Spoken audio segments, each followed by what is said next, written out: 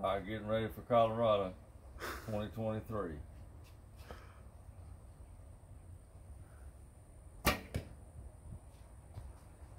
My handmade longbow, now the old night of Phoenix.